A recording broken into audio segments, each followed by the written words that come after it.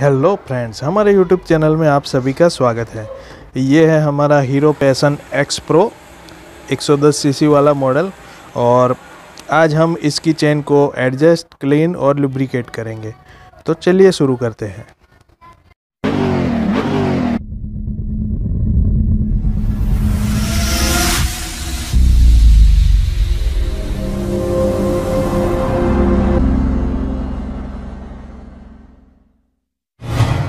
दोस्तों, चेन को एडजस्ट करने के लिए और क्लीन और लुब्रिकेट करने के लिए सबसे पहले हमें ये ओपन करना होगा। टेन एम mm का बोल्ट है एक, और दूसरा यहाँ पे आता है। ये दोनों ओपन करने होंगे। ऊपर वाला चेन का और नहीं खोलेंगे तभी तो भी चल जाएगा, लेकिन इसको तो हमें ओपन करना ही होगा। दोस्तों, चेन हमारी अच्छी खासी ढीली हो गई है, देखिए। और इतना ज़्यादा भी प्ले अच्छा नहीं है। वो तो हमारा लक है कि आज तक कोई प्रॉब्लम नहीं हुआ ये गाड़ी चलाते वक्त, लेकिन इतना प्ले सही नहीं है। इसको हमें एडजस्ट करना होगा। चेन को एडजस्ट करने के लिए किसी भी बाइक में सेम ही मेथड होती है। सबसे पहले हमें ये वाला नट ढीला करना होगा। उसके बाद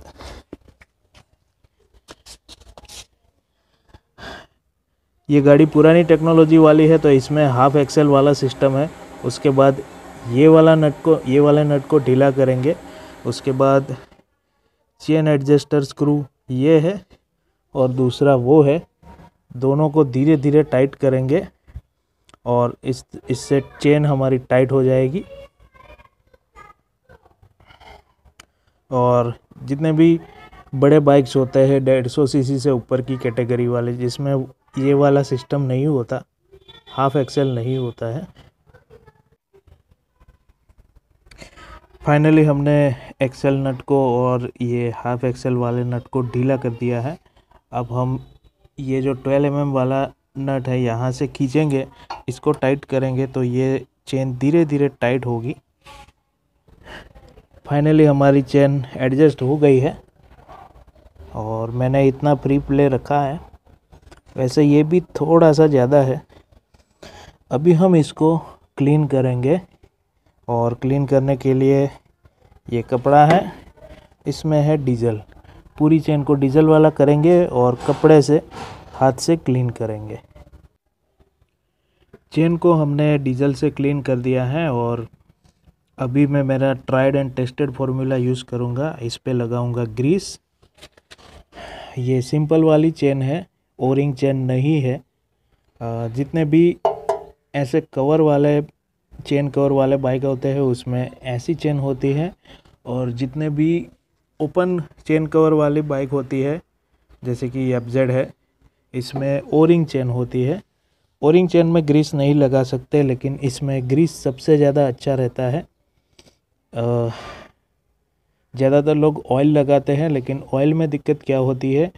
कि ऑयल से कचरा भी बहुत ज़्यादा लग जाता है चेन पे प्लस जब भी चेन फुल स्पीड पे चलती है, तब इतना ज़्यादा सेंट्रीफ्यूगल फोर्स पैदा होता है चेन के ऊपर तो ऑयल सारा एक्सट्रैक्ट होके बाहर आ जाता है और कवर सिर्फ़ चेन का कवर गंदा होता है चेन को लुब्रिकेट नहीं हो पाता। इससे अच्छा ग्रीस है, कम से कम एक साल तक चलता है। मेरे पास पहले Pulsar 180 eighty U G three model था रेड कलर वाला, जिसमें ऐसी चेन आती थी, उसमें मैं ग्रीस लगाता था और एक साल तक आराम से चल जाता था। अब हम पूरी चेन को ग्रीसिंग करेंगे और ग्रीसिंग करने के बाद फाइनली फिर से एडजस्ट कर लेंगे चेन को।